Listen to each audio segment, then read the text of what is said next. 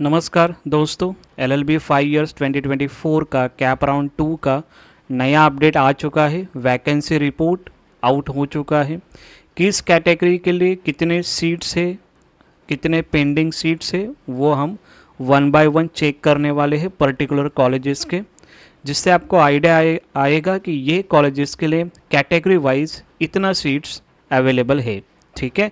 सो पूरा डिटेल में देखिए वीडियो जिससे आपको पूरा इन्फॉर्मेशन आपको ये वीडियो से पता चलेगा कि how to check vacancy report ये आप पूरा देखिए जिससे आपको पूरी आइडिया आ जाएगी। ठीक है? हम सी e के मेन वेबसाइट पे आ चुके हैं। सी e के वेबसाइट पे आने के बाद आपको एडमिशन प्रोसेस 2024 और 2025 यहाँ पे आपको क्लिक करना है। वहाँ पे क्लिक करने के बाद आपको L L B five years integrated इस पर क्लिक करना है। उस पर क्लिक करने के बाद आपको ऐसा प्रोसेस या एप्लीकेशन आएगा, इसको क्लोज करना है। और यहाँ पे आपको दिख रहा है चेक वैकेंसी अलॉटमेंट वहाँ पे आपको वैकेंसी रिपोर्ट वहाँ पे आपको क्लिक करना है। यहाँ पे क्लिक करने के बाद आपको जो यूनिवर्सिटी चाहिए, वो यूनिवर्सिटी आप देख सकते हो। जैसे कि अभी मुझे मुंबई यूनिवर्सिटी का चेक करना है। गवर्नमेंट लॉ कॉलेज का सीट्स कितना पेंडिंग है तो वो मैं इधर सेलेक्ट करूँगा। अगर गवर्नमेंट का चाहिए तो गवर्नमेंट के सिलेक्ट करो सेल्फ फाइनेंस का चाहिए तो सेल्फ फाइनेंस का आप चेक चेक कर सकते हो। और शो वैकेंसी के ऊपर आपको क्लिक करना है। वो क्लिक करने के बाद यहाँ पे आपको पूरा कैटेगरी वाइज आपको इन्फॉर्मेशन यहाँ पे दिया है। जैसे कि ओपन के लिए देखेंगे तो ओपन के लिए देखो जनरल के लिए, महाराष्ट्र स्टेट के लिए पाँच वैकेंसी है और एनआरआई स्टूडेंट के लिए नौ वैकेंसी खाली है। फीमेल के लिए वन खाली है एससी के लिए दो फीमेल के लिए ज़ीरो उसके बाद में एसटी के लिए जनरल तीन और फीमेल के लिए वन डी के लिए वन सीट्स खाली है।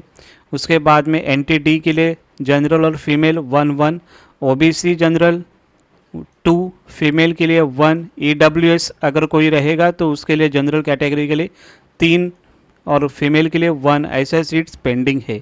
कभी कभी ये भी होता है कि N R K N R I के अगर नहीं रहेंगे स्टूडेंट तो वो डायरेक्टली ओपन जनरल स्टूडेंट के लिए वो कैरी फॉरवर्ड वो सीट्स हो जाते हैं। तो ऐसे कैटेगरी वाइज आपको चेक करना है कि आपका जो कैटेगरी रहेगा, वो हिसाब से आपको कितने सीट्स पेंडिंग है, वो हिसाब से आपको कॉलेज अलॉट होने वाला है।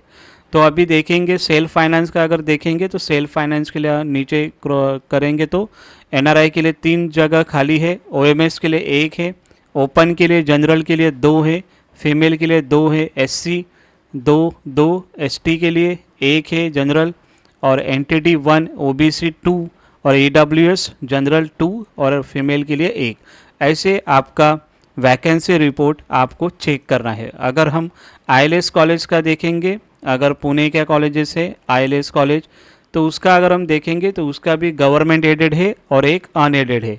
गवर्नमेंट एडेड में अगर देखेंगे, कैटेगरी वाइज ओपन के लिए देखो कितना बहुत ज़्यादा जगह खाली है उधर। 27 जनरल के लिए, फीमेल के लिए सेवन है। ओएमएस स्टूडेंट ज़्यादा है। पाँच सीट्स खाली है वहाँ पे एन के लिए ट्वेल्व है।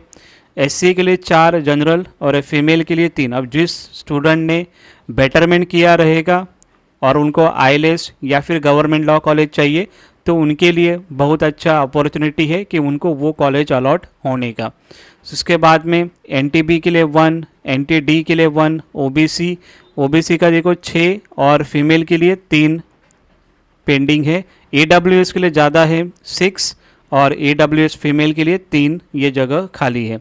सो so, आई के लिए भी अच्छा कैटेगरी वाइज अगर हम देखेंगे तो अच्छा जगह वहाँ पे सीट्स खाली है। अगर वहाँ पे अगर आई के लिए अगर हम देखेंगे अनएडेड कॉलेज का वैकेंसी रिपोर्ट तो वैकेंसी रिपोर्ट अगर अनएडेड का देखेंगे तो ओपन के लिए वन है और ओपन फीमेल के लिए दो है। एससी जनरल एक एससी फीमेल एक। ओएमएस स्टूडेंट के लिए पाँच जगह खाली है। एनटीबी के लिए वन और एनटीडी के लिए वन ओबीसी के लिए टू ईडब्ल्यूएस के लिए फ़िलहाल अनएडेड में कोई जगह खाली नहीं है। तो ये, इस प्रकार से आपको चेक करना है कि आपका कॉलेज अगर कौन सा भी आपकी यूनिवर्सिटी रहेगी है, आपको जो कॉलेज चाहिए, वो कॉलेज सिलेक्ट करो। उसके बाद में आपको कौन सा भी कॉलेज सिलेक्ट करना है तो उसके बाद में सोलापुर का सिलेक्ट किया। शो वैकेंसी करो। यहाँ पे पूरा डिटेल आपका आने वाला है कि कौन सी कॉलेज के लिए कितना सीट्स कौन सी कौन सी कैटेगरी के लिए पेंडिंग है, वो आपको यहाँ पे दिखेगा।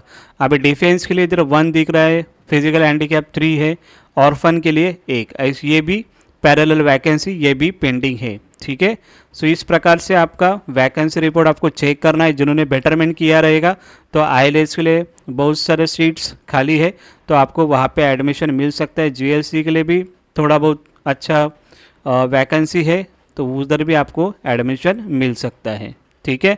जिन स्टूडेंट को कैप राउंड वन में एडमिशन नहीं मिला है, उनको कैप राउंड टू में एडमिशन मिलने के चांसेस बहुत ज़्यादा है। ओके, और जिन स्टूडेंट को कैप राउंड टू में भी अगर कॉलेज नहीं मिला तो कैप राउंड तीन में आपको वो कॉलेज अलॉट हो जाएगा। और कैप राउंड तीन के लिए कौन से कॉलेज के कैसे प्रेफरेंस देना है एज पर योर परसेंटाइल उसका वीडियो में कैप राउंड तीन के लिए लेके आऊँगा। ठीक है, इस प्रकार से आपको चेक करना है। एक बार देख लिए, वैकेंसी रिपोर्ट आउट हो चुका है, जिससे आपको एक आइडिया आ जाएगा। ठीक है thank you so much